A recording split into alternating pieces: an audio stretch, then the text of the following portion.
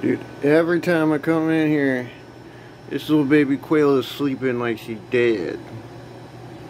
Hey, hey little one. it creeps me out almost every time. I'm sorry for waking you, buddy. But I thought you were dead. hey, peepers.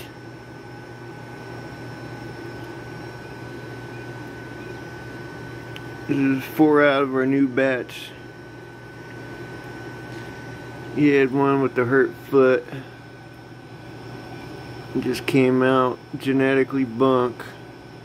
The toes were all together and it, it was walking on it like on the joint instead of the feet. So we're trying to get it to straighten out using a band-aid no idea whether it's going to work or not. He is kind of walking on it better than it was before. Because, I mean, before it was like he was walking on an elbow or a knee, you know, instead of the foot.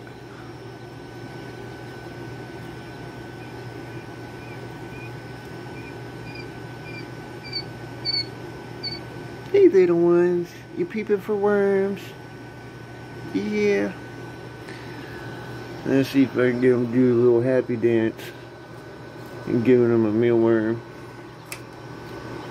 He's the one. Oh.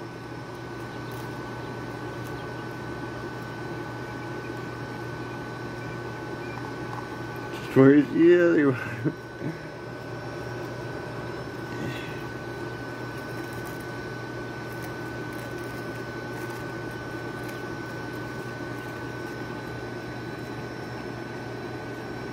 My autofocus is going all wacky because of the bars.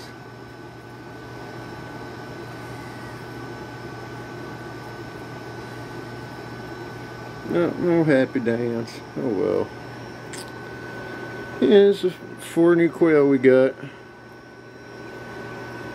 Little peepers.